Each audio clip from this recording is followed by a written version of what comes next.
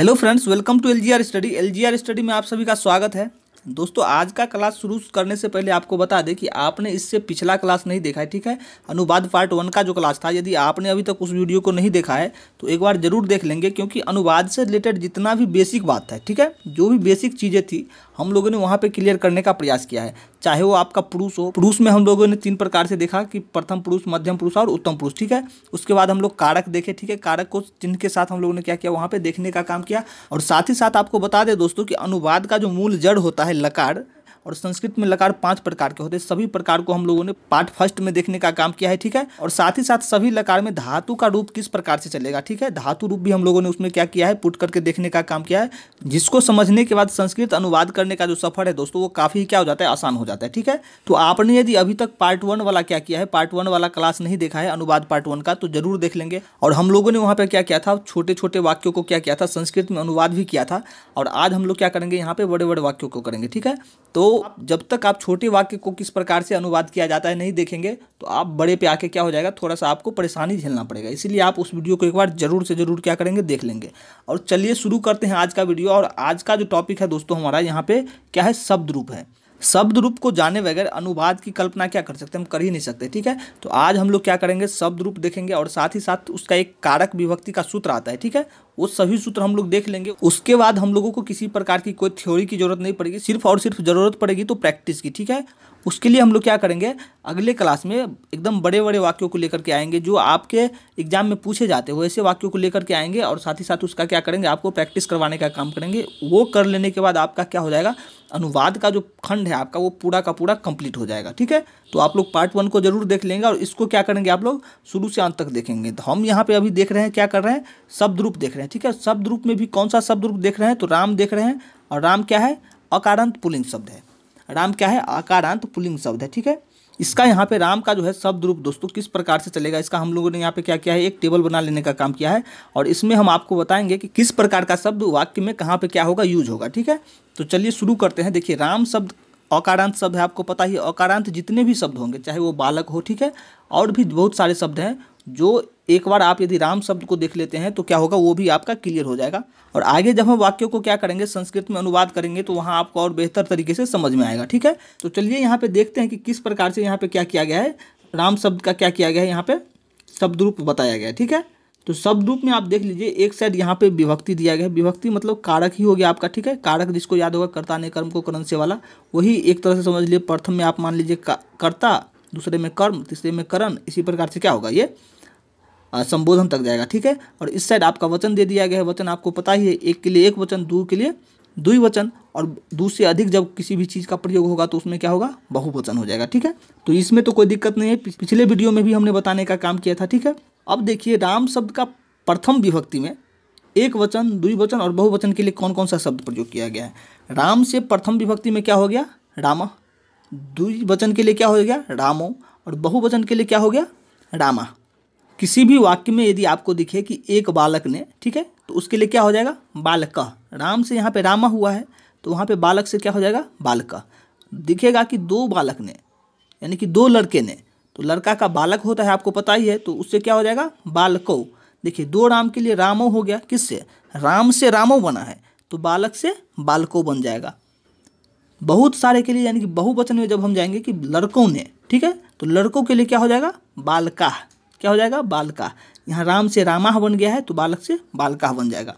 एक बार फिर से आप प्रथम विभक्ति में देख लीजिए, राम का शब्द रूप किस प्रकार से कार्य करता है? तो रामा, रामो, रामा। द्वितीय विभक्ति में जब हम लोग आते हैं तो क्या हो जाता है? रामम, रामो, रामान। क्या हो जाता है? रामम, रामो, रामान। यानी कि एक राम को तो रामम, दो राम को तो रामो, और बहुत सारे रामों का जब बात होगा, रामों का बात होगा तो क्या हो जाएगा? रामान हो जाएगा। उसी प्रकार से एक बालक के लिए बात हो गया तो बालकम। दुई बालक के लिए बात होगा तो बालको और बहुत सारे बालक का बात होगा तो बालकान। क्या हो जाएगा? बालकान हो जाएगा। तृतीया विभक्ति में आइए। तृतीया विभक्ति में देखते हैं। तृतीया विभक्ति में यहाँ राम का जो शब्द रूप है वो इस प्रकार से चलता है। एक वचन में रामेन वचन में रामाभ्याम और बहुवचन में रामो। क्या हो जाएगा? रामो। अब देखिए, यहाँ पे है राम से तो यहीं पे यदि रहता कि बालक से तो क्या हो जाता? बालकेन। बालक से, यानी किसी भी चीज़ से जैसे कलम से तो कलमेन, बालक से तो बालकेन, ठीक है? फिर रहेगा कि दो कलम से तो कलमाभ्याम, क्या हो जाएगा? कलमाभ्याम, दो बालक से तो बालकाभ्याम। आपको शब्द पुट करना है। आपके सामने जब आप देखिएगा, जब आपके सामने वाक्य आएगा तो उसी वाक्य में से आपको सोचना होगा। उस वाक्य में जो रहेगा, ठीक है? उसको आपको सोचना होगा कि किस विभक्ति का शब्द है और इसमें कौन सा वचन है, ठीक है? आपको देखते ही पता चल जाएगा कि कलम से कलम से, यानी कि ये जो है ये तृतीया विभक्ति का शब्द है, ठीक है? अब तृतीया विभक्ति में देखिएगा कि दो कलम से तो द्विवचन का जो यहाँ पे शब्द रूप चलता है, वो प्रयोग करेंगे। जी, वहाँ पे रहा कि कलमों से तो आपको पता चल जाएगा कि तृतीया विभक्ति का बहुवचन लगेगा, ठीक है? तो बहुवचन लगेगा तो क्या हम लोग करेंगे? तृतीया विभक्ति का बहुवचन प्रयोग करेंगे। यहाँ पे देखेंगे राम से रामो हो जाता है तो कलमों से क्या हो जाएगा? कलमो हो जाएगा ना? बालक से क्या हो जाएगा? बालको। इस प्रकार से आप क्या करेंगे इसका प्रयोग करते चलेंगे। तो यहाँ ये पहला शब्द रूप है इसीलिए हमको यहाँ पे इतना समझाना पड़ है। बाकी आप लोगों को हम एक शब्द रूप का थोड़ा छोटा सा लिस्ट दे देंगे। उस, उसको आप अपने गाइड में या भी किसी भी प्रकार का आप संस्कृत का बुक रखे होइएगा ग्रामर वगैरह का उसमें आपको वो सभी शब्द रूप आसानी से मिल जाएँगे। तो एक बार आप लोग उस सब सभी शब्द रूप को क्या कीजिएगा देख लीजिएगा ठीक है? तो चतुर्थी विभक्ति में फ़िलहाल देखिए एक वचन के लिए रामा यानी कि राम के लिए छात्र के लिए। छात्र के लिए रहता तो यहाँ पे क्या होता? छात्राय। लेकिन यहाँ पे है राम। तो राम से रामाय तो छात्र से क्या बन जाता? छात्राय। लड़का के लिए। तो लड़का का क्या हो जाता? है लड़का का आपको पता ही है क्या होता है? बालक होता है तो बालकाय। आपको देखिए, परेशानी नहीं होगा, ठीक है? आप थोड़ा सा कंसंट्रेट होकर एक बार देख लेंगे इसको, और साथ ही साथ जो भी शब्द रूप बाकी और हम आपको बताएँगे देख लेने के लिए, उस सबको भी एक बार देख लीजिएगा। तो सिर्फ़ क्या करना है? दो चार बार आपको पढ़ लेना है ताकि इसका जो पैटर्न है वो आपको समझ में आ जाए, ठीक है? तो यहाँ पे चतुर्थी विभक्ति के एक वचन के लिए क्या हो जाएगा? राम के लिए तो रामाय रामाभ्याम रामेभ्य, ठीक है? पंचमी विभक्ति में आप देखिए, पंचमी विभक्ति का एक वचन रामात द्विवचन क्या हो जाता है? रामाभ्याम, बहुवचन क्या हो जाता है? रामेभ्य। यानी कि एक राम से, पंचमी में आपादान वाला से ही यहाँ पे प्रयोग किया गया, ठीक है? तृतीय विभक्ति में भी हम लोग से देखे थे तो वो था करण से, लेकिन यहाँ पंचमी विभक्ति में आपादान से होता है। क्या होता है? आपादान वाला से। आपादान वाला से में यानी किसी भी चीज़ से अलग जब होते हैं तो उसके लिए क्या होता है? आपादान से का प्रयोग होता है। जैसे जैसे वृक्ष से पत्ता गिरता है तो वृक्ष से क्या हो रहा है? तो वृक्ष से क्या हो रहा है? पत्ता अलग हो रहा है। तो अलग होने के सेंस में क्या होता है? पंचमी विभक्ति लगती है और वहाँ पे इस पंचमी विभक्ति का क्या होगा? सूत्र आपका लगेगा।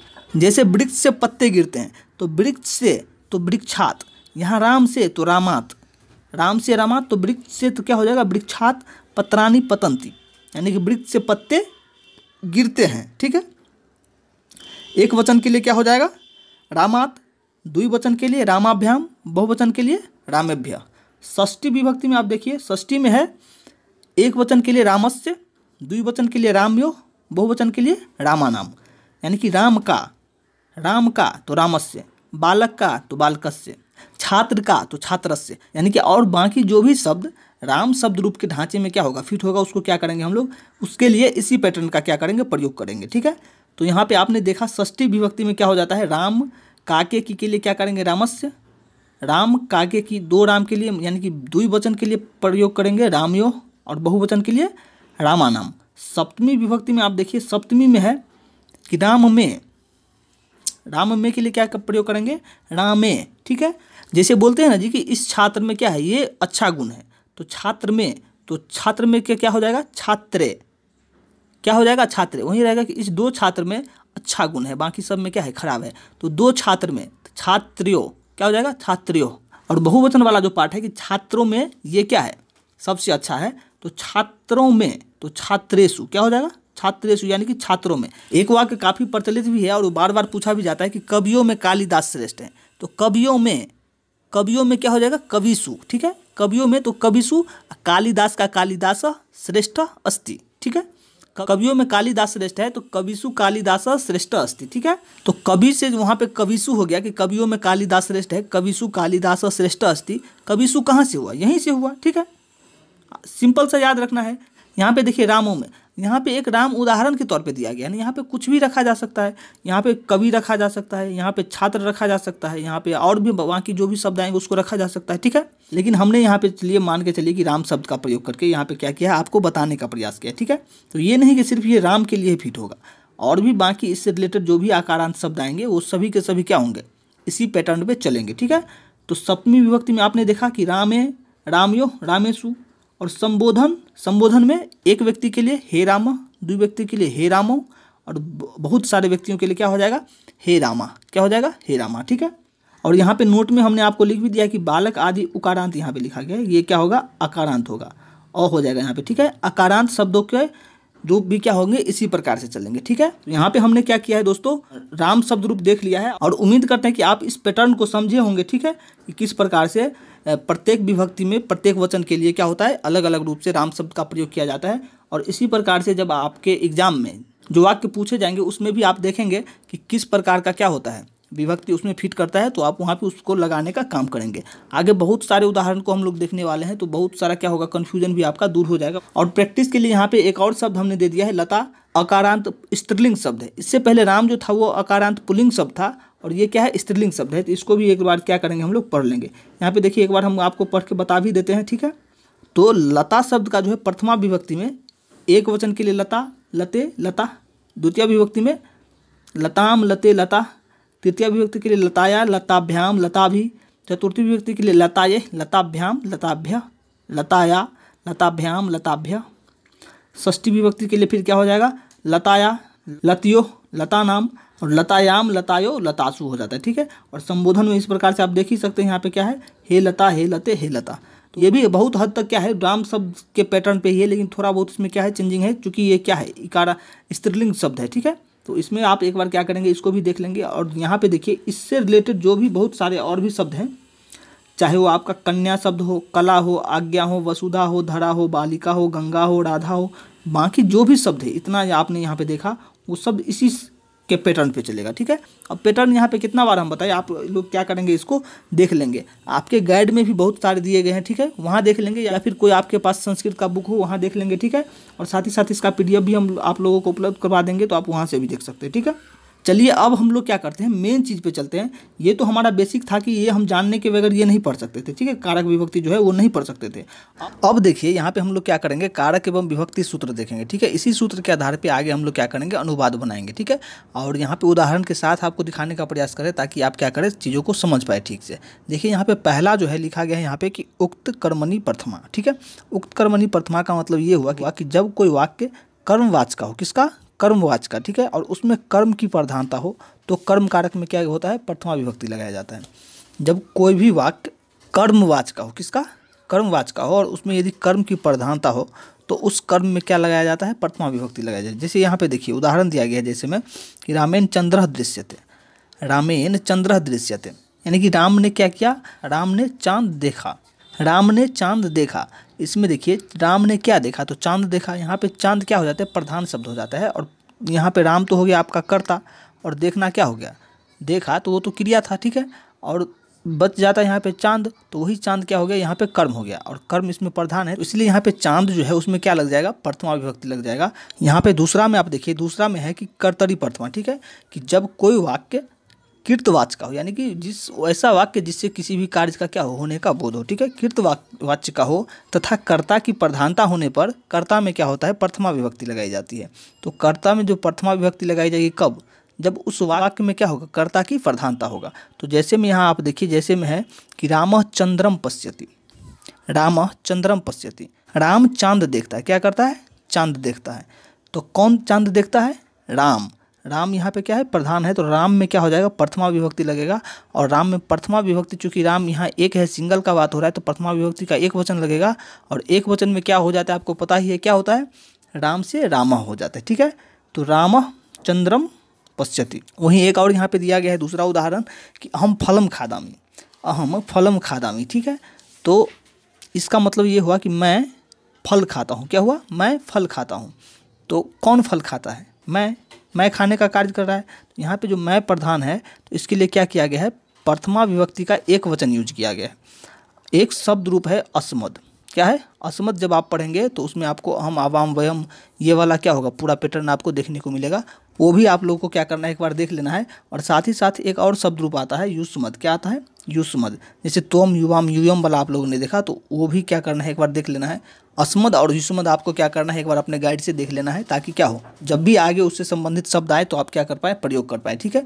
जैसे देखिए, मैं, हम दोनों, हम लोगों का तो आपको शुरू से ही बताते आ रहे हैं कि मैं का अहम होता है, हम दोनों का वय आवाम होता है और हम लोग का क्या होता है? वयम होता है। लेकिन और उससे आगे का जो भी है, वो तो हमने अभी नहीं बताया है। वो जब आप पूरा शब्द रूप देखेंगे तो आपको पता चलेगा, ठीक है? तो इसीलिए क्या करेंगे आप लोग? असमद और युसमद का भी एक बार ज़रूर देख लेंगे। अब देखिए, तीन नंबर पर बढ़ते हैं और तीन नंबर में यहाँ आप देखिए, तीन नंबर में कहा जा रहा है कि क्रिया विशेष ने चौ। यानी कि क्रिया की विशेषता बतलाने वाले को क्रिया विशेषण कहते हैं। क्रिया की विशेषता बतलाने वाले को क्रिया विशेषण कहते हैं, ये तो आपको पता ही है, ठीक है? और उसमें द्वितीय विभक्ति लगाई जाती है। किसमें? क्रिया की विशेषता बतलाने वाले को क्रिया विशेषण कहते हैं और क्रिया विशेषण में क्या होता है? द्वितीय विभक्ति का प्रयोग किया जाता है ठीक है? तो जैसे यहाँ पे देखिए उदाहरण में दिया गया है कि मोहन मधुरम बदती मोहन बोलता है ठीक है? मोहन बोलता है ये एक, एक प्रकार का कार्य हो रहा है लेकिन मोहन मधुर बोल रहा है। मोहन क्या कर रहा है? मधुर बोल रहा है। तो इसमें जो मधुर शब्द जुड़ गया वो क्या हो गया? उसके बोलने का जो शैली है, उसको क्या कर रहा है, दर्शा रहा है, उसका विशेषता बता रहा है कि किस प्रकार से बोल रहा है, मधुर बोल रहा है कि कड़वा बोल रहा है, ज़ोर से बोल रहा है, कैसे बोल रहा है, ठीक है? तो मोहन मधुर बोल रहा है तो इसमें मधुर क्या हो गया? क्रिया विशेषण हो गया, और क्रिया विशेषण में क्या लगेगा? द्वितीय विभक्ति लगेगा। तो द्वितीय विभक्ति में जैसे आप लोगों ने देखा कि राम से क्या हो जाता था? रामम। रामो रामान हो जाता था। एक वचन के लिए रामम द्विवचन के लिए रामो बहुवचन के लिए रामान हो जाता था। तो उसी प्रकार से चूँकि यहाँ पे मोहन सिंगल है तो क्या होगा? द्वितीय विभक्ति का एक वचन लगेगा इसमें, और क्या हो जाएगा? मधुरम। मोहन का मोहना, मधुरम और बोलना का वद वदती। ठीक है तो मोहना, मधुरम, वदती। अब देखिए, एक आगे और भी दिया गया उदाहरण यहाँ पे कि सह मंदम मंदम चलती। सह मंदम मंदम चलती, यानी कि वह धीरे धीरे चलता है। क्या करता है? वो धीरे धीरे चलता है। तो वह चलता ही ये तो कार्य हो गया। और कार्य, वो जो चलने का कार्य कर रहा है, वो कैसे कर रहा है? धीरे धीरे कर रहा है। क्या कर रहा है? धीरे धीरे तो धीरे धीरे उसके चलने का क्या हो गया? विशेषता हो गया। तो ये जो हो गया, वो क्रिया विशेषण हो गया। चलना क्रिया है और उसका विशेषता बता रहा है कि धीरे धीरे चल रहा है। तो ये क्रिया विशेषण क्या हो गया इसमें? मंदम मंदम हो गया। तो, मंद मंदम में क्या हो जाएगा यहाँ पे? द्वितीय विभक्ति लग जाएगी। क्यों? क्योंकि इसका एक सूत्री है क्रिया विशेषण चौ में क्रिया की विशेषता बताने वाले को क्रिया विशेषण कहते हैं और क्रिया विशेषण में कौन सी विभक्ति लगाई जाती है? द्वितीय विभक्ति लगाई जाती है द्वितीय ठीक है? तो यहाँ पे वह धीरे धीरे चलता है स मंद मंदम चलती ठीक है?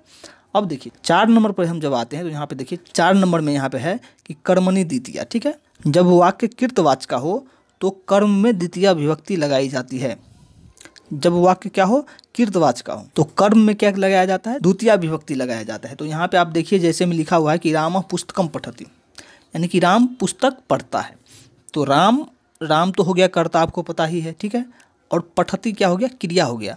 बीच में जो बच गया पुस्तक, वो क्या है? कर्म है। तो कर्म में यहाँ पे बताया जा रहा है कि कर्म में द्वितीय विभक्ति लगाई जाती है।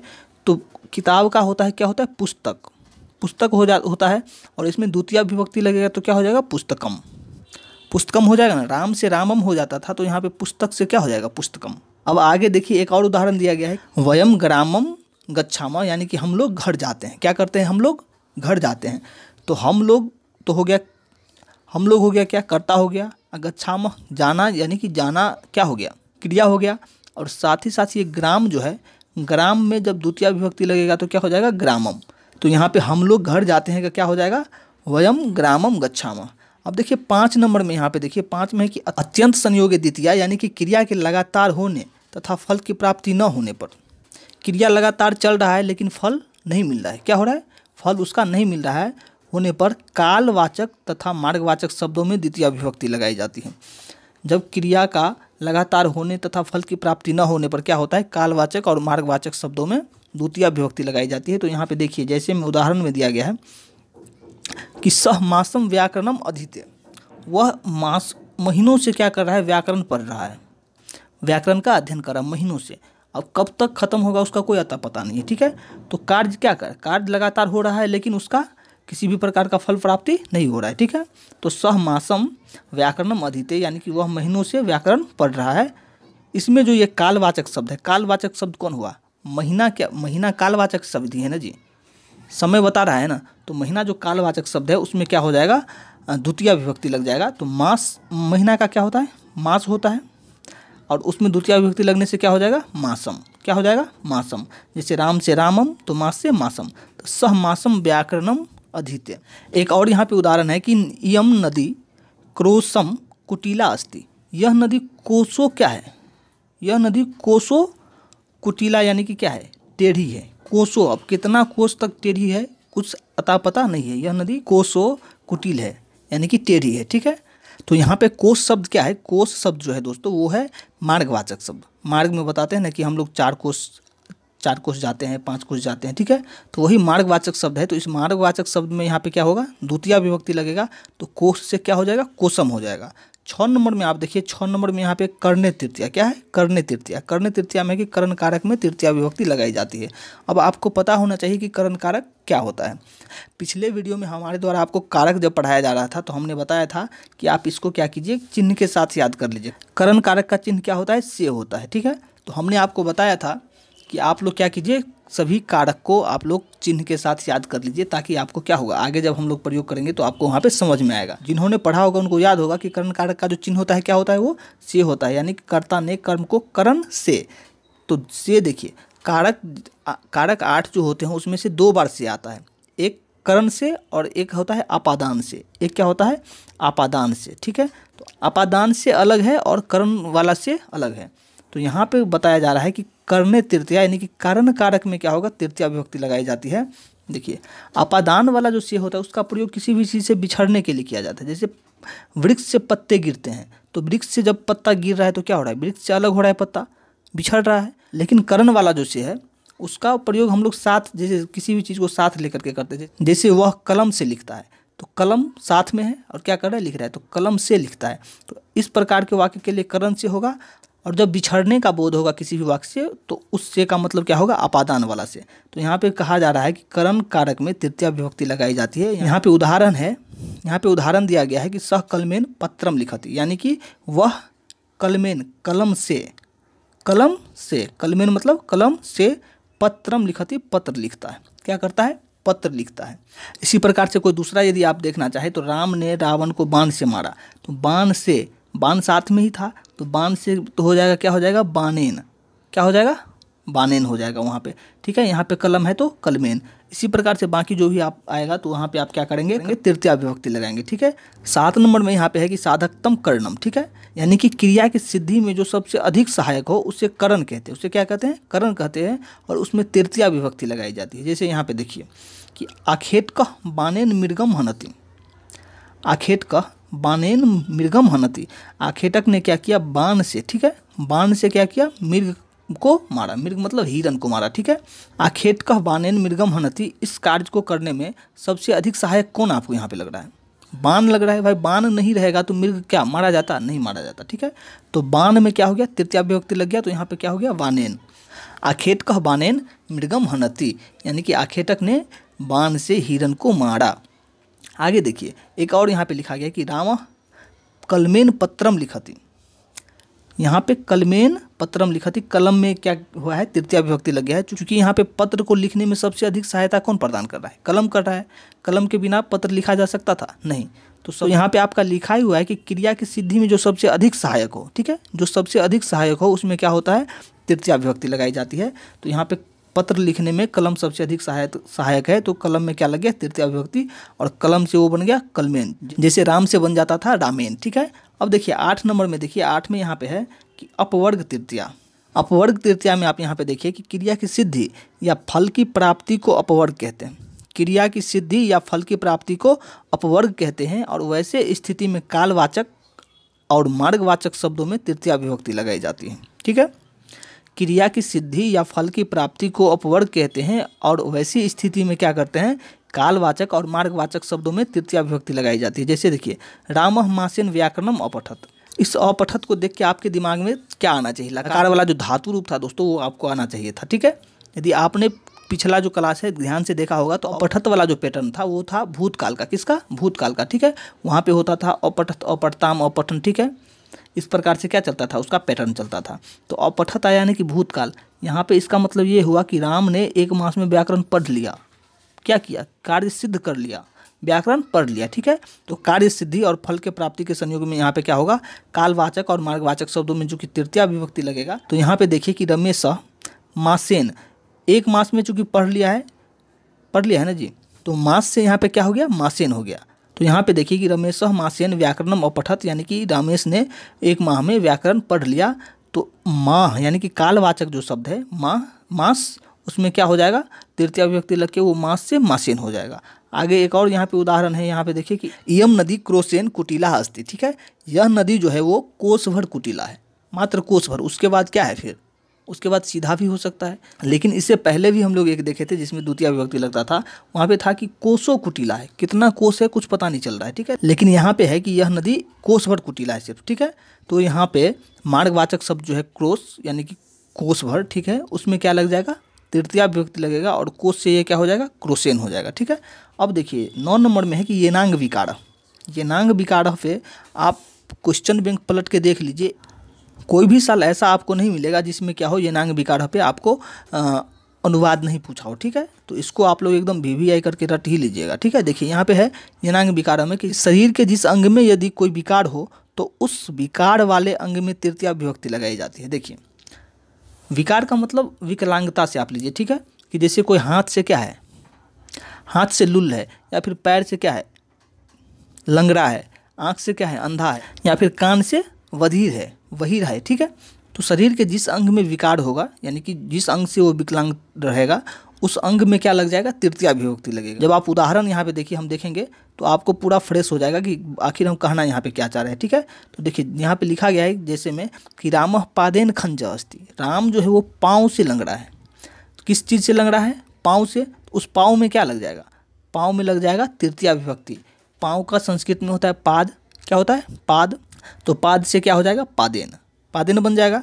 तो राम पादेन खंज मतलब हुआ वही लंगड़ा। क्या होता है? लंगड़ा होता है, ठीक है? तो खंज मतलब लंगड़ा हुआ और अस्थि मतलब है होता है, ये सब भी आप लोग थोड़ा याद रखेंगे ताकि आपको लिखने में क्या हो, वहाँ पे सहायता हो, ठीक है?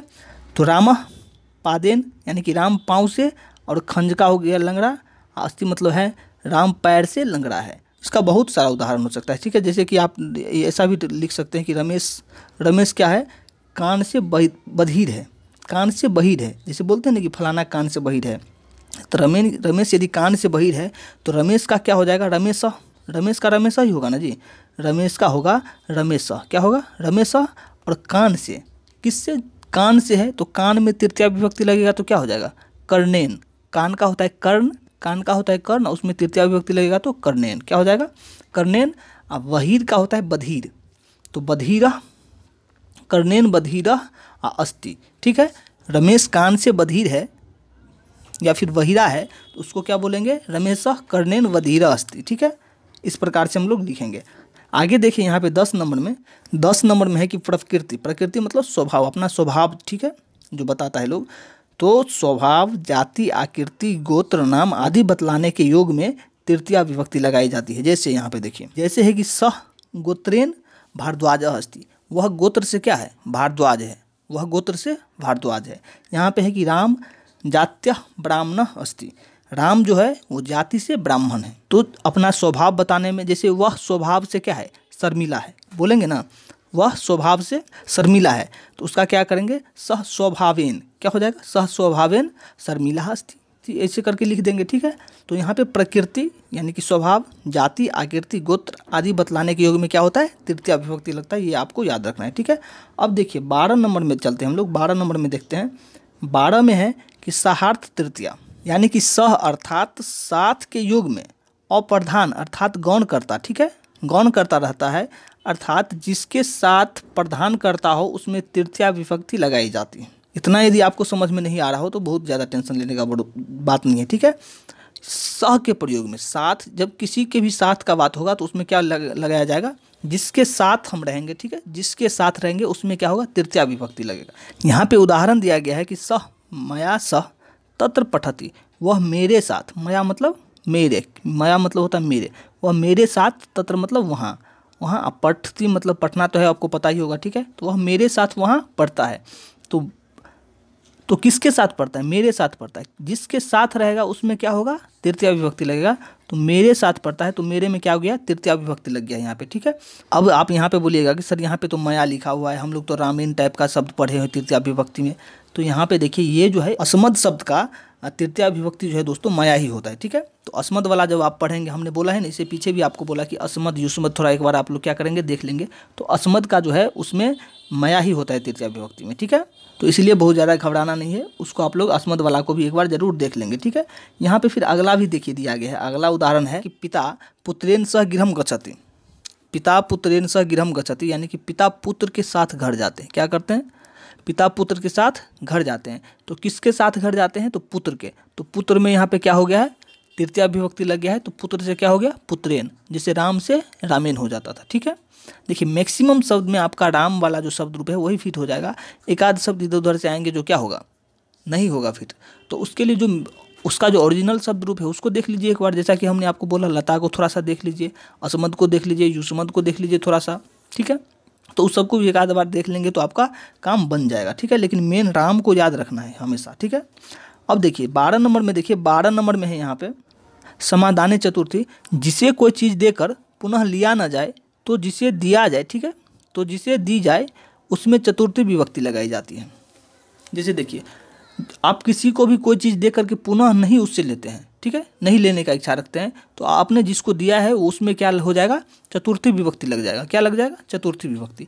उदाहरण से आप ज़्यादा स्पष्ट रूप से समझ पाएँगे। यहाँ पे है कि सह विप्राय वस्त्रम ददाती। वह जो है, विप्राय मतलब गरीब लोगों को, ठीक है? असहाय लोगों को। गरीब लोगों को क्या किया है? वस्त्र दिया है। तो वस्त्र दे करके फिर आप उससे क्या कीजिएगा? ले लीजिएगा, नहीं लीजिएगा। तो नहीं लीजिएगा तो उसमें क्या हो जाएगा? चतुर्थी विभक्ति लग जाएगा। जिसको दान दे करके, जिसको कोई भी चीज़ दे करके आप नहीं लेंगे तो उसमें क्या होगा? चतुर्थी विभक्ति लगेगा तो विपड़ाए विप्र में क्या हो गया? विप्र में चतुर्थी विभक्ति लगेगा। विप्र में क्या हो गया? चतुर्थी विभक्ति लग गया। जैसे राम राम के चतुर्थी विभक्ति में क्या आ जाता था? रामाई रामाय आ जाता था ना जी? राम से रामाय हो जाता था तो विप्र से विपड़ाई हो गया, ठीक है? यानी कि वह विप्र को वस्त्र देता है। आगे देखिए, यहाँ पे एक और उदाहरण है कि राम दरिद्राय अन्नम ददाती। राम जो है वो दरिद्र को अन्न देता है। क्या करता है? अन्न देता है, ठीक है? तो अन्न दे करके फिर तो लेगा नहीं उससे। लेगा। दरिद्र को आप एक बार अन्न दे रहे हैं तो उससे फिर दोबारा लीजिएगा नहीं। तो जिसको आप दे रहे हैं उसमें क्या होगा? चतुर्थी विभक्ति लगेगा। तो दरिद्र से क्या हो जाएगा? दरिद्राय। जैसे राम से हो जाता था रामाई ठीक है? तो दरिद्र से दरिद्राय। तो राम दरिद्राय अन्नम ददाती। राम दरिद्र को अन्न देते हैं, ठीक है? आगे देखिए, तेरह नंबर में यहाँ पे है कि दानार्थ चतुर्थी। दान के अर्थ में चतुर्थी स्पष्ट है, ठीक है? जिसे कोई वस्तु दान के रूप में दी जाए, उसमें चतुर्थी विभक्ति लगाई जाती है। जिसे कोई वस्तु दान के रूप में दी जाए, उसमें चतुर्थी विभक्ति, यानी कि जिसको आप दे रहे हैं, उसमें चतुर्थी विभक्ति लगेगा, ठीक है? जैसे यहाँ पे देखिए, यहाँ पे लिखा है कि राजा जनेभ्य धनम ददाती। राजा जो है वो जनता को क्या कर रहे हैं? धन देते हैं। जनता को धन दान दे रहे हैं। किसको दे रहे हैं? जनता को। तो जिसको दे रहे हैं उसमें चतुर्थी विभक्ति तो क्या हो गया? जन से हो गया, जनेभ्य। जनेभ्य क्यों हो गया सर? तो आपको बता दें कि जनता मतलब किसी एक आदमी का बात तो हो नहीं रहा है, बहुत सारे आदमी का बात हो रहा है। तो चतुर्थी विभक्ति में आप याद यदि किए हुएगा तो राम का क्या होता था? राम का हो जाता था रामाय, एक वचन के लिए। द्विवचन में हो जाता था रामाभ्याम, और बहुवचन में वही चीज़ क्या हो जाता था? रामेभ्य। तो यहाँ पे क्या हो गया? जन से हो गया, जनेभ्य। ठीक है? क्योंकि यहाँ पे क्या है? बहुवचन को देने की बात हो रही है, ना कि एक वचन को। एक वचन का रहता तो हम लोग क्या करते उसमें रामाय लगाते आगे देखिए, फिर एक और यहाँ पे उदाहरण दिया गया है कि सह ब्राह्मणाय गाम ददाती, यानी कि वह ब्राह्मण को गाय देता है। वह ब्राह्मण को गाय देता है। तो गाय एक को ब्राह्मण को देगा ना, ऐसा नहीं ना कि पूरा ब्राह्मण टोली के गाय बिटवा दो भाई। एक ही किसी को दिया जाएगा। ठीक है? तो एक के लिए बात हो रहा है तो इसमें चतुर्थी विभक्ति का एक वचन लगेगा। ठीक है? तो यहाँ पे देखिए वह का तो स हो गया। अब ब्राह्मण को दे रहा है तो ब्राह्मण में लगेगा। जिसको दे, देना होता है उसमें चतुर्थी विभक्ति लगता है तो ब्राह्मण से ब्राह्मणाय चूँकि राम से रामाय हो जाता था, ठीक है? और गाय का गाम होता है। गाय का क्या होता है? गाम। और देना का ददाती, ये तो आपको पता ही है, ठीक है? तो वो ब्राह्मण को गाय देता है सब ब्राह्मणाएँ गाँव ददाती, ठीक है? चौदह नंबर में देखिए, यहाँ पे चौदह नंबर में है कि इत्यम भूत लक्षण है। यानी कि जब किसी विशेष चिन्ह से किसी को जाना या पहचाना जाए तो उस विशेष चिन्हवाचक शब्दों में तृतीय विभक्ति लगाई जाती है। देखिए, जब किसी विशेष चिन्ह से किसी को पहचानेंगे या फिर जानते हैं, ठीक है तो उस विशेष चिन्ह में क्या हो जाएगा? तृतीय विभक्ति लग जाती है। उदाहरण से आप समझिए। उदाहरण में यहाँ पे दिया गया है, स जटा भी तापस प्रतीयते, ठीक है? इसका मतलब ये हुआ कि वह जटा से, किस चीज़ से? वह जटा से तपस्वी लगता है। क्या होता है? तपस्वी प्रतीत होता है। तो चूँकि जटा से प्रतीत हो रहा है तो जटा में क्या हो गया यहाँ पे? तृतीय विभक्ति लग गया, ठीक है? अब देखिए, आगे एक और उदाहरण यहाँ पे दिया गया है कि सह पुस्तकेन छात्र प्रतीयते, ठीक है? वह पुस्तक से छात्र प्रतीत होता है। क्या होता है? वह पुस्तक से छात्र प्रतीत होता है। तो पुस्तक से होता है किस चीज़ से? उसको हम किस प्रकार से पहचाने? वो पुस्तक देखे, उसको, उसके बाद ही हमको पता चला कि वह छात्र है। तो जिस चीज़ से किसी का पहचान हो, उस चीज़ में क्या हो जाता है? कौन सा लग जाता है? तृतीय विभक्ति लग जाता है। तो पुस्तक में लग गया तृतीय विभक्ति तो हो गया पुस्तक से पुस्तकेन। आगे देखिए यहाँ पे पंद्रह नंबर में, पंद्रह में कि नमः योगे चतुर्थी। इससे भी आपके एग्ज़ाम में कई बार डायरेक्ट क्या हुआ है?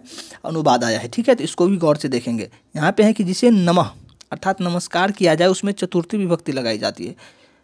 जिससे नमस्कार किया जाए, उसमें चतुर्थी विभक्ति लगाई जाती है। जैसे आप बोलते हैं ना कि गणेशाय नमः, ओम गणेशाय नमः, इसका मतलब क्या हुआ? कि आप गणेश भगवान को प्रणाम कर रहे हैं, ठीक है? नमस्कार कर रहे हैं। उदाहरण में यहाँ पे देखिए, दिया भी गया है कि देवाय नमः, यानी कि देवताओं को नमस्कार, शिवाय नमः। शिवाय नमः मतलब शिव को नमस्कार। हनुमते नमः। अब बोलिएगा, सर, यहाँ पे देव चतुर्थी विभक्ति में जैसे राम से रामाय होता था तो यहाँ पे देवाय हुआ, यहाँ पे शिवाय हुआ, लेकिन यहाँ पे हनुमते कैसे हो गया? तो यहाँ पे देखिए, चूँकि हनुमते का अपना शब्द रूप है, ठीक है तो उसके अनुसार यहाँ पे क्या हो गया है? चतुर्थी विभक्ति हनुमते होता है तो हनुमते नमा हो गया, ठीक है? लेकिन मेन रूप से आपको क्या करना है? याद रखना है राम को ही, ठीक है? राम से ही मैक्सिमम बन जाते हैं, लेकिन कभी कभार एक आधा आ गया तो आप क्या करेंगे? यदि एक एक आध बार पढ़ लेते हैं दूसरे सबको भी तो थोड़ा सा सहूलियत होगा, ठीक है? सोलह नंबर में देखिए, सोलह नंबर में फिर यहाँ से आपसे पूछा जा रहा है कि रुच्यार्था नाम प्रिय माना रुच धातु के योग में जिसे कोई चीज़ अच्छी लगती है, उसमें क्या होता है? चतुर्थी विभक्ति लगाई जाती है। जिसको कोई चीज़ पसंद आएगा, उसमें लगेगा, ठीक है? ये ना कि जो सामान पसंद आया, उसमें लगेगा। व्यक्ति में लगेगा, ठीक है? जैसे यहाँ पे देखिए कि बालकाय मोदकम रोचते। बालक को क्या होता है? वो मोदक अच्छा लगता है, ठीक है? तो बालक में लगा है चतुर्थी विभक्ति, बालक से क्या हो गया? बालकाय। जैसे राम से चतुर्थी विभक्ति में क्या हो जाता है? रामाय, ठीक है? हो जाता है ना? उसी प्रकार से दूसरा भी उदाहरण है, ब्राह्मणाय मधुरम रोचते। ब्राह्मण को क्या होता है? मधुर अच्छा लगता है। तो ब्राह्मण से यहाँ पे क्या हो गया? ब्राह्मण ब्राह्मणाय क्यों हो गया? क्योंकि इसमें चतुर्थी विभक्ति लगाई गई। किस सूत्र के अनुसार? तो रुचार्थानाम प्रियमाना के अनुसार, ठीक है? इसमें लिखा ही है, स्पष्ट लिखा है कि रुच धातु के योग में जिसे कोई चीज़ अच्छी लगती है, उसमें चतुर्थी विभक्ति लगाई जाती है। अब देखिए, सत्रह नंबर में हम लोग चलते हैं। सत्रह में देखिए, सत्रह नंबर में यहाँ पे है अस्प्रिय रिप्सिता, ठीक है? अस्प्रिय धातु के योग में जिस वस्तु की इच्छा की जाए, ठीक है? अस्प्रिय मतलब होता है चाहना, इच्छा करना। आपके अंदर किसी भी चीज़ का इच्छा उत्पन्न हुआ, वो उसका मतलब हुआ यहाँ पे, उसी को संस्कृत में क्या कहते हैं? अस्प्रिय कहते हैं, ठीक है? तो अस्प्रिय धातु के योग में जिस वस्तु की इच्छा की जाए, उसमें चतुर्थी विभक्ति लगाई जाती है। जैसे बालक कंदुकाय अस्प्रियति तो बालक कंदुक चाहता है तो जो चीज़ चाहता है, उसमें चतुर्थी विभक्ति लगेगी। तो चूँकि कंदुक चाहता है तो कंदुक से कंदुकाय हो गया। चतुर्थी विभक्ति के कारण। उसी प्रकार से आगे देखिए, अठारह नंबर में है कि धारे रुतमर्ण। क्या है? धारे रुतमर्ण। धारे रुतमर्ण में है कि धारी धातु के योग में जो कर्ज देता है। हम लोग देखिए, मज़ाक मज़ाक में गाँव घर में कहते हुए ना कि कितना दिन से हमारा पचास रुपया धारा हुआ है, दे नहीं रहा है। ठीक है? तो उसी प्रकार से यहाँ पे धार धातु एक होता है, ठीक है?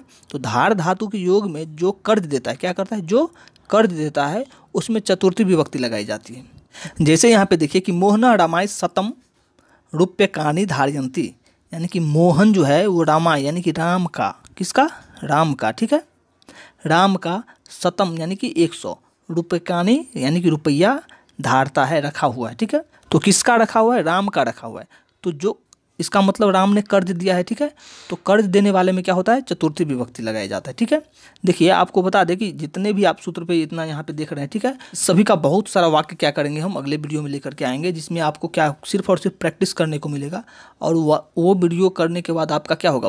पूर्ण रूप से कंप्लीट ही हो जाना चाहिए, और जिसका नहीं होगा उसका तो क्या ही कह सकते हैं, एक बार पुनः उसको देखना होगा। लेकिन मैक्सिमम चांस रहेगा कि जब आप प्रैक्टिस वाला सेशन करेंगे, देखिए, एक आपने यहाँ पे देख लिया सूत्र के अनुसार, और इसी पे यदि दूसरा दिया जाए तो क्यों नहीं बनेगा भाई? जो गौर से देखेगा, उसका तो बनना चाहिए, ठीक है? और बनेगा भी, बहुत ज़्यादा भारी भी नहीं है। फ़िलहाल आप यहाँ पे उन्नीस नंबर देखिए, उन्नीस नंबर में है यहाँ पे तदर्थ चतुर्थी, ठीक है? कि जिस प्रयोजन के लिए जो वस्तु हो, उसमें चतुर्थी विभक्ति लगाई जाती है। जिस प्रयोजन के लिए जो वस्तु हो, ठीक है? उसमें चतुर्थी विभक्ति लगेगी किसी भी प्रयोजन के लिए जो वस्तु रखा जाता है, उसमें क्या होगा? चतुर्थी विभक्ति लगेगा, जैसे यहाँ पे देखिए। इदम स्वर्णम कुंडलाय। कुंडलाय अस्ति। यह स्वर्ण जो है, कुंडल के लिए। किसके लिए? कुंडल के लिए। सोना है भाई, नाक के लिए भी हो सकता है, मांग के लिए भी हो हो सकता है, लेकिन ये क्या है? कुंडल के लिए, ठीक है? तो जिस प्रयोजन के लिए है उसमें चतुर्थ विभक्ति लगेगा तो कुंडल में क्या हो गया है? चतुर्थ विभक्ति के कारण यहाँ पे कुंडल से कुंडलाय हो गया है। आगे बीस नंबर में आप यहाँ पे देखिए, बीस नंबर में है तुम्हार थाच भावचना ठीक है? तुमून प्रत्यांत शब्दों के अर्थ में चतुर्थी विभक्ति। यानी कि किसी भी कार्य, विशेष कार्य को आप करने के लिए जा रहे हैं तो उस कार्य में क्या हो जाता है? चतुर्थी विभक्ति लग जाता है। यहाँ पे जैसे देखिए कि सह क्रीडनाय गच्छति, यानी कि वह खेलने जाता है। तो खेलने जा रहा है तो खेल में क्या हो गया यहाँ पे? खेल में लग गया चतुर्थी विभक्ति। खेल का होता है, संस्कृत में क्रीड, और क्रीड में जब चतुर्थी विभक्ति लगेगा तो क्रीडनाय हो जाएगा, ठीक है? तो सह क्रीडनाय गच्छति। और उसी प्रकार से देखिए, एक और उदाहरण यहाँ पे दिया गया है कि सह पठितुम विद्यालयम गच्छति। तो पठितुम के जगह पे यहाँ पे क्या हो जाएगा? पठनाई हो जाएगा। क्या हो जाएगा? चतुर्थी विभक्ति के कारण पठ से क्या हो जाएगा? पठनाई हो जाएगा, ठीक है? तो सह पठनाई विद्यालयम गच्छति। अब इक्कीस में देखिए, हमको लग रहा है कि दो तीन और बचा हुआ है, शायद चार बचा हुआ है, ठीक है? कोई बात नहीं, देख लेते हैं। इक्कीस नंबर में यहाँ पे है कि ध्रुव मापाए पादानम, ठीक है? निश्चित वस्तु से जब कोई चीज़ अलग होती है तो उस निश्चित वस्तु में पंचमी विभक्ति लगाई जाती है। देखिए, जैसे वृक्ष से पत्ता गिरता है तो वृक्ष क्या है? एकदम निश्चित वस्तु है और उसमें से क्या हो रहा है? पत्ता अलग हो रहा है, ठीक है? अलग हो रहा है तो अलग होने के भाव में जैसे कि पहले भी हमने आपको बताया है कि उसमें पंचमी विभक्ति होती है, ठीक है? और ये अलग होने का जो भाव है, वृक्ष से ये वाला जो से है, वो क्या है? वो आपादान से है, क्या है? आपादान से, ठीक है? तो यहाँ पे देखिए, उदाहरण में भी दिया गया है कि वृक्षात पत्रानी पतंती, ठीक है? वृक्षात पत्रानी पतंती, यानी कि वृक्ष से पत्ते अलग हो रहे हैं, गिर रहे हैं, ठीक है? तो किसी भी निश्चित चीज़ से अलग होने का भाव आएगा, वहाँ पे क्या होगा? पंचमी विभक्ति लगाया जाएगा, और यहाँ पे बाईस नंबर में भी यहाँ पे सेम ही है आपादान पंचमी है, ठीक है? कि अलग होने के योग में जिससे कोई वस्तु अलग होती है, जिससे, ठीक है? जिससे अलग होता है, उसमें पंचमी विभक्ति लगाया जाता है। जैसे यहाँ पे देखिए कि वृक्षात फलानी पतंती, ठीक है? वृक्ष से फल गिरते हैं। क्या होता है? फल गिरते हैं तो किससे गिरते हैं? वृक्ष से गिरते हैं तो वृक्ष में हो गया यहाँ पे पंचमी विभक्ति राम से रामात तो वृक्ष से वृक्षात। अब देखिए तेईस नंबर में यहाँ पे है कि भित्रार्था नाम भय हेतु। यहाँ पे लिखा गया है कि भयवाचक तथा रक्षावाचक शब्दों में अर्थात जिससे भय हो या जिससे रक्षा की जाए, ठीक है? या जिससे रक्षा की जाए, उसमें पंचमी विभक्ति लगाई जाती है। क्या होती है? जिससे भय हो या फिर जिससे रक्षा की जाए, ठीक है? उसमें पंचमी विभक्ति लगाई जाती है। तो यहाँ पे है कि सह व्याघ्रात रक्षति। वह बाघ से अपना रक्षा करता है। क्या? किस चीज़ से रक्षा कर रहा है? बाघ से कर रहा है। तो बाघ में पंचमी विभक्ति लग गया है। क्या हुआ? बाघ में पंचमी विभक्ति व्याघ्र से क्या हो गया? व्याघ्रात। बाघ व्याघ्र से क्या हो गया? व्याघ्रात। जैसे राम से रामात हो जाता था, ठीक है? तो सह व्याघ्रा रक्षति, वह बाघ से रक्षा कर रहा है। आगे देखिए, चौबीस में है ये आख्या तोप योग, ठीक है? नियम पूर्वक जिससे पाठ पढ़ा जाए तो पढ़ाने वाले शब्दों में क्या होता है? विभक्त पंचमी विभक्ति लगाई जाता है ठीक है? तो यहाँ पे तो यहाँ पे देखिए पढ़ाने वाले जिससे हम नियम पूर्वक क्या करते हैं पढ़ते हैं तो जो पढ़ाते हैं पढ़ाने वाले में क्या हो जाएगा? पंचमी विभक्ति लग जाएगा। तो अध्यापकात सह व्याकरणम पढ़ती अध्यापक से वह व्याकरण पढ़ता है। क्या करता है? अध्यापक से। किस से तो अध्यापक से। तो, तो अध्यापक में क्या हो जाएगा यहाँ पे? अध्यापक में लग जाएगा पंचमी विभक्ति तो राम से रामा तो अध्यापक से अध्यापकात, ठीक है? तो अध्यापकात सह व्याकरण पढ़ती अध्यापक से वह व्याकरण पढ़ता है। यदि यहाँ पे रहता है कि वह राम से, क्या करता है? वह राम से संस्कृत पढ़ता है। क्या करता है? संस्कृत पढ़ता है। तो वह का तो स हो जाता सह और राम से, किससे पढ़ रहा है? राम से? तो रामात। सह रामात संस्कृतम पढ़ती क्या हो जाता? संस्कृतम पढ़ती ठीक है? आगे देखिए। पच्चीस में देख लीजिए पच्चीस में है कि भूवा प्रभावा। जहाँ से कोई उत्पत्ति होती है उसमें पंचमी विभक्ति लगाई जाती है। यदि कोई भी चीज़ जहाँ से उत्पन्न हो रहा है, ठीक है, जैसे गंगा हिमालय से निकल रहा है, ठीक है तो हिमालय में क्या हो जाएगा? पंचमी विभक्ति हो जाएगा। ठीक है? तो गंगा हिमालयात प्रभावती या निसरती। निसरती का भी मतलब होता है निकलना और प्रभावती का भी मतलब क्या होता है? निकलना, ठीक है? तो गंगा हिमालय चूँकि गंगा हिमालय से निकल रहा है तो कहाँ से निकल रहा है? हिमालय से। तो हिमालय में क्या हो गया? पंचमी विभक्ति लग गया तो क्या हो गया यहाँ पे? हिमालयात हो गया, ठीक है? और इसी तरह के और भी बहुत सारे आप यदि उदाहरण देखना चाहते हैं तो आपको गाइड में भी बहुत सारा क्या किया गया उदाहरण उपलब्ध करवाया गया तो वहाँ से भी आप क्या क्या करेंगे देख लेंगे। यहाँ पे एक है कि हम आपको नियम बताने का प्रयास कर रहे हैं कि इस प्रकार से क्या होता है। इस कारण से यहाँ पे हिमालय से हिमालयात हो गया है। तो जब आप नियम जान लेते हैं तो नियम जानने के बाद आप क्या करेंगे आ, कहीं से भी आप देखेंगे उदाहरण तो आपको पता चलेगा बहुत ज़्यादा टेंशन नहीं होगा ठीक है? अब देखिए छब्बीस नंबर में यहाँ पे छब्बीस में है कि षष्टी चानादरे क्या होता है? षष्टी चनादरे यानी कि जिसका अनादर करके कोई काम किया जाए, उसमें षष्टी या सप्तमी विभक्ति लगाई जाती है। जैसे देखिए, रुद्रता पुत्र से पिता वनम गतवान। रोते हुए बालक को छोड़ करके और पिता क्या हुए? वन चले गए। तो यहाँ पे बालक का अनादर किया गया है ना जी। बालक रो रहा था, उसको छोड़ के पिता क्या कर दिए? वन चले गए। तो बालक का अनादर हुआ तो जिसका अनादर होगा, उसमें सप्तमी विभक्ति या षष्टी विभक्ति लगेगा। तो पुत्र में क्या हुआ यहाँ पे? षष्ठी विभक्ति लग गया तो पुत्र से हो गया पुत्र से चूँकि षष्ठी विभक्ति में राम से रामस्य हो जाता था, आपको याद होगा, ठीक है? तो राम से रामस्य हो जाता था तो पुत्र से हो गया पुत्र से तो रुदत वा रुदतः पुत्र से पिता वनम गतवान रोते हुए पुत्र को छोड़ करके पिता वन चले गए, ठीक है? आगे भी इसी प्रकार का एक उदाहरण दिया गया, उसको भी आप देख लेंगे, ठीक है? अब सत्ताईस नंबर में देखिए, सत्ताईस में यहाँ पे है कि यतश्च निर्धारणम, कि जब किसी समूह से किसी को श्रेष्ठ बताया जाए, ठीक है? कोई समूह है, उसमें से किसी एक को श्रेष्ठ आपको बताना है, ठीक है? तो उस समूहवाचक शब्दों में षष्ठी या सप्तमी विभक्ति लगाई जाती है। इससे भी बहुत बार क्या हुआ है, प्रश्न आया है, और आगे भी आते ही रहेंगे, इस बार भी हो सकता है तो आएगा, ठीक है? तो ये है कि जब किसी समूह से किसी को श्रेष्ठ बताया जाता है किसी एक को तो उस समूह में क्या होता है? उस समूहवाचक शब्द में षष्ठी या सप्तमी विभक्ति लगाई जाती है। जैसे यहाँ देखिए, कवि नाम कालिदास श्रेष्ठ कवियों में कवियों में कालिदास श्रेष्ठ है तो कवि क्या हुआ? समूहवाचक शब्द है तो कवि से यहाँ पे कवि नाम हो गया। जैसे राम से क्या हो जाता था? राम नाम हो जाता था। षष्ठी विभक्ति में आप जाके देखिए बोलिएगा सर राम से तो रामस से होता था। लेकिन नहीं, राम से रामस कब होता था? एक वचन के लिए। वहीं यदि हम दुई वचन में जाते थे तो रामयो हो जाता था और बहुवचन में जाइएगा तो क्या हो जाएगा? राम नाम हो जाता था, ठीक है? रामा नाम हो जाता था। तो कवि से कवि नाम हो जाएगा और कालिदास श्रेष्ठ, यानी कि कवियों में कालिदास श्रेष्ठ है, ठीक है? आगे यहाँ पे देखिए, एक और उदाहरण देकर के आपको बताने का प्रयास किया गया है, इसमें सप्तमी विभक्ति का प्रयोग करके। इसमें तो कवि नाम हुआ था षष्ठी विभक्ति के रूप से, और यहाँ पे सप्तमी विभक्ति का प्रयोग करके बताया गया है कि कवियों में सप्तमी विभक्ति जब हम लगाएँगे तो राम में होता था, एक वचन के लिए रामे, द्विवचन के लिए रामयो और बहुवचन के लिए रामेशु। तो कवि का जो समूह है, वो क्या है? बहुवचन है। तो रामेशु से क्या हो जाएगा यहाँ पे? कविसु कविशु कालिदासा श्रेष्ठ। ये सिर्फ़ एक उदाहरण है। इसी प्रकार से आपको कुछ और भी दिया जा सकता है। यदि आपको वहाँ पे दे दिया जाए कि बालकों में राम श्रेष्ठ है, यानी कि बाल, जितने भी बालक हैं, उन सबों में क्या है? राम श्रेष्ठ है। तो इसको आप किस प्रकार से बनाएँगे? इसको इसको आप इस प्रकार से बनाएँगे कि बाल का नाम बाल का नाम राम श्रेष्ठ, या फिर ऐसे लिखेंगे कि बाल बालकेशु राम श्रेष्ठ, ठीक है? तो दोनों प्रकार में आपका सही माना जाएगा। अट्ठाईस नंबर में देखिए फ़िलहाल, अट्ठाईस में यहाँ पे है, भावे सप्तमी, ठीक है? किसी क्रिया के काल से दूसरे क्रिया के काल का ज्ञान हो तो उस पूर्वकालिक क्रिया तथा उसके कर्ता में सप्तमी विभक्ति लगाई जाती है। किसी भी क्रिया के काल से दूसरे क्रिया के काल का क्या हो? बोध हो, ठीक है? ज्ञान हो तो उस पूर्वकालिक क्रिया तथा उसके कर्ता में सप्तमी विभक्ति लगाई जाती है। यहाँ पे जब आप देखेंगे उदाहरण से तो आपको थोड़ा सा ज़्यादा समझ आएगा। यहाँ पे देखिए अस्तम गते सूर्य सह सहगृहम अगच्छत ठीक है? सूर्य के अस्त होते ही वह घर चला गया। तो इसमें आपको देखिए नज़र आ रहा होगा कि एक काल है जिसमें सूर्य अस्त होने का बात हो रहा है और, और एक में क्या हो रहा है? उसके घर चले जाने का बात हो रहा है ठीक है? तो पहला काम क्या है? पहला काम है यहाँ पे सूर्य अस्त होना ठीक है? और उसके बाद सूर्य अस्त हो जाने के बाद फिर वो क्या करता है, घर चला जाता है। तो दूसरा काम यहाँ पे हो गया घर जाना, ठीक है? तो यहाँ पे लिखा गया है स्पष्ट कि जिस क्रिया के काल में दूसरी क्रिया के काल का ज्ञान हो, उस पूर्वकालिक क्रिया तथा उसके कर्ता में सप्तमी विभक्ति लगाई जाती है। तो पूर्वकालिक क्रिया क्या है? पूर्वकालिक यानी कि पहला क्रिया क्या है? सूर्य का अस्त होना ही है ना जी। अस्तंगत मतलब हुआ कि अस्त हो जाना सूर्य का, ठीक है? तो अस्तंगत में भी लग जाएगा सप्तमी विभक्ति तो क्या हो जाएगा? अस्तंगते।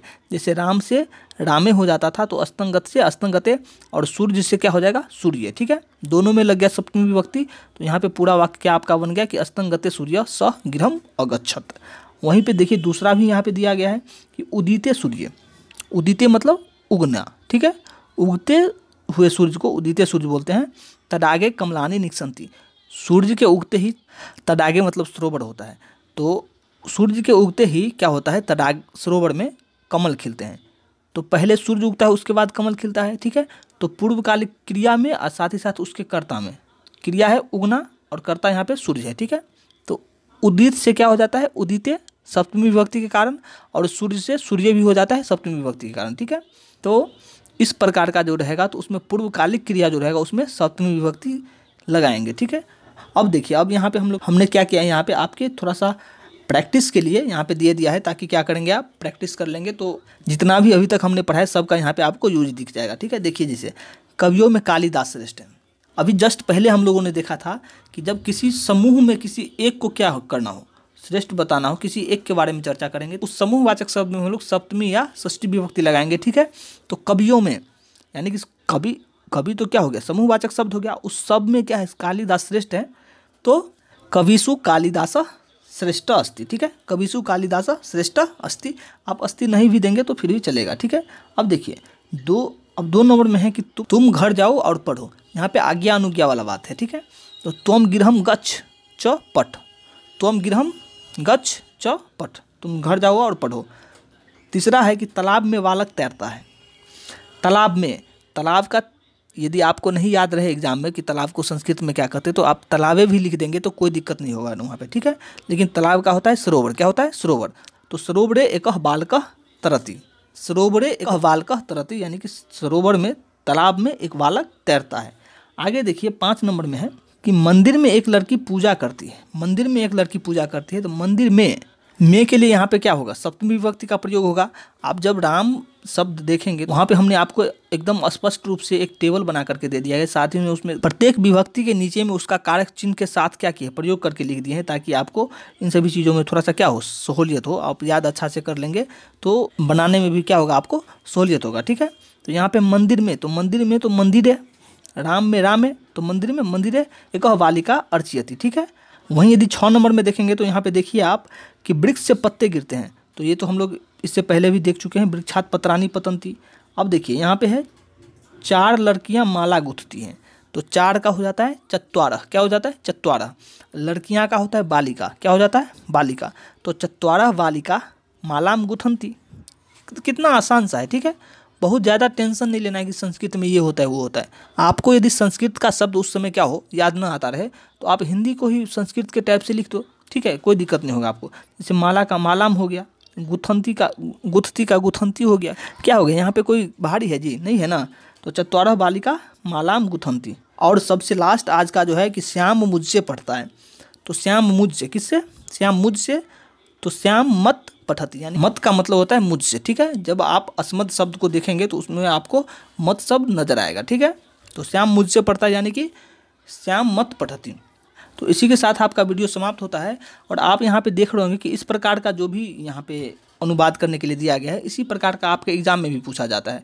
तो मेन रूप से हमारा कहना ये है कि अनुवाद बनाने के लिए जो भी हथियार आपको चाहिए, हमारे अनुसार आपको पूरा क्या किया गया है, उपलब्ध करवा दिया गया है। बस अब आपको सिर्फ़ प्रैक्टिस करना है। वो आप अपने गाइड में, जो भी आपके पास गाइड होंगे, उसमें अनुवाद का जो सेक्शन होगा, उसमें देखिएगा तो ढेरों सारा अनुवाद क्या है, प्रैक्टिस करने के लिए दिया गया है। तो उसको आप आधा घंटा, एक घंटा समय देंगे तो एक घंटा में तो आप, हमको लगता है सौ, डेढ़ सौ अनुवाद को क्या करेंगे? देख लेंगे, ठीक है? तो तो चलिए आज के वीडियो में इतना ही, फिर मिलते हैं अगले वीडियो में। तब तक के लिए खुश रहिए, मस्त रहिए और एल जी आर स्टडी देखते रहिए।